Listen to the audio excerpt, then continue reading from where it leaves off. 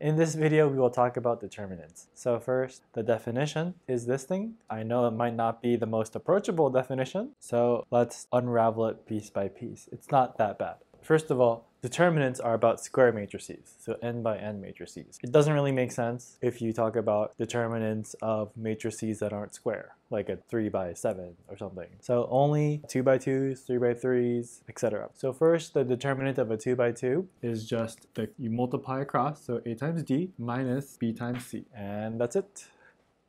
Next, the determinant of a 3 by 3. We use a technique called cofactor expansion. So first we need something called the characteristic matrix. So start with a plus sign on the left hand corner and then just make a checkerboard pattern of pluses and minus signs. And now we can fix any row or any column. So you pick your favorite column or your favorite row. There is going to be smarter choices, but we'll uh, see that later. So let's pick the first column. Then you go down the columns. So you first consider this first row. Then at the intersection, you have this number, 1. And so the determinant is computed by 1 times the determinant of this submatrix, right, where you get rid of this column and this row. So you would first compute this. You take out the next row. So where the column and the row intersect, it's 2. Uh, but 2 is at the minus position in the characteristic matrix. So you would do minus 2 times the determinant of the submatrix, which is this matrix. So you take out the column and the row and you have 5, 0, negative 2, 0.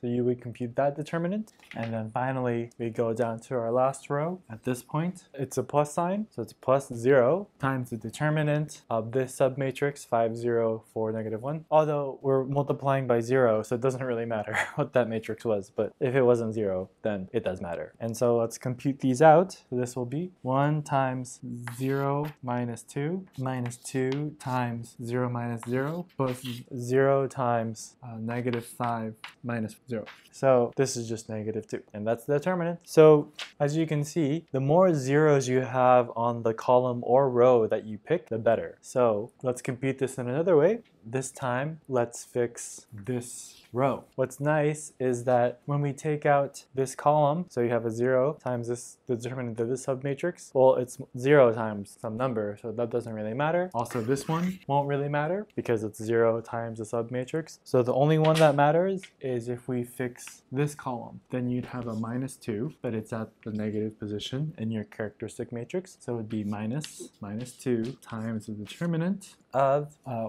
1, 0, 2, negative 1. So you take out this row, take out this column. What you have left over is a 2 by 2 matrix. And now we compute this determinant. So this will be 2 times negative 1 minus 0. And so this will be minus 2. So it doesn't matter which column or row magically using cofactor expansions gives you the same number. Okay, so what if your matrix doesn't have lots of zeros in the columns or rows? Well, to fix that situation, we first need to know a couple of properties of determinants. Uh, the most important one is that if A and B are n by n matrices, the determinant of A times B is equal to the determinant of A times the determinant of B. Why is this important? Well, recall that something like, let's say, negative 3 times the first row and added into the second row can be described using matrix multiplication of elementary matrices. That is, this elementary matrix corresponding to minus 3 times the first row and adding it into the second row. This elementary matrix times this matrix gives you this matrix, which is the output of doing this row operation. But the novelty of this is that the determinant is easy to compute for this one, and the determinant of elementary matrices are very simple. So the idea is we do a row operation to make the matrix easier to compute the determinant of by getting more zeros. So then for this one, I mean, it's a 2 by 2, so it's actually kind of easy to find the determinant regardless. This will just be negative 2. This determinant splits as the product of the determinants of each of them. The determinant of this elementary matrix is 1 because 1 minus 0 but actually it's always going to be 1 for this type where you add a multiple of row into another row that determinant is always 1 and then you have just the determinant of your original matrix uh, which you can actually just compute the determinant of the easier one. I mean again for the 2 by 2 it's very easy. This is just 4 minus 6 but let's say you had a larger matrix and computing the 3 by 3 was too much well you can maybe row reduce it into a nicer form so that it's easier to compute. So let's quickly verify what the determinant of the elementary matrices are going to be? Well, for this type where you add a multiple, let's say k times the first row into the third, if you do cofactor expansion, let's fix the row with uh, just one here, then we would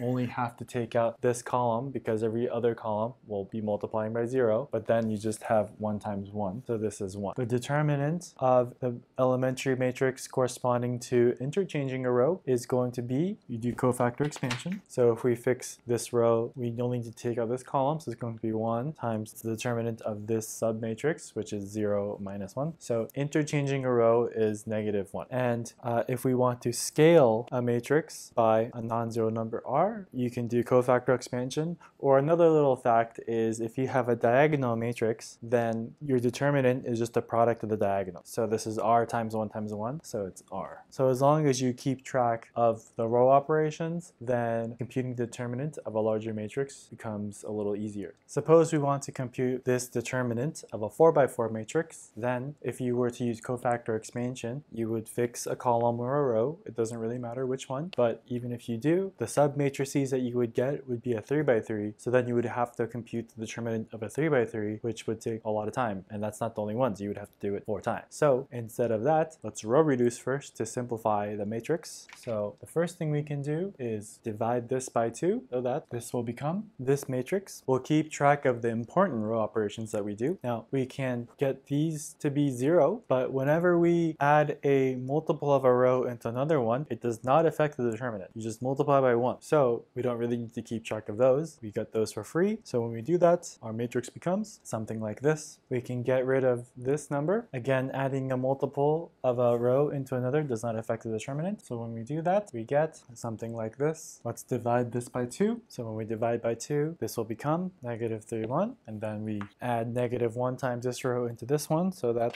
we get this upper triangular matrix. Now the determinant of an upper triangular matrix is also very straightforward. If you keep doing cofactor expansions, you'll see that it's just a product of the diagonal entries. So the original determinant, let's call the original matrix A, the determinant of A will be 1 times 3 times negative 3 times 1, except we also did these operations. So if we divided by 2, we have to make sure to multiply back by 2. So times 2 times 2. And so this will be 6 times negative 6, negative 36. It would be a nice exercise in cofactor expansion if you just try the cofactor expansion without doing row operations. It'd be a good exercise, but it's not really the recommended way to take determinants. So what is the determinant determining? Well, for a square matrix, the columns are linearly dependent if you row reduce and you get a row of all zeros. But if you have a row of all zeros, then the determinant is zero. So then the matrix will be not invertible and vice versa, that a matrix is invertible if your determinant is non-zero because then when you row reduce, you'll get it into echelon form where the diagonals will be non-zero. So one thing that the determinant determines is whether A is invertible or not. And if the determinant of A is non-zero, then you can say that A is invertible.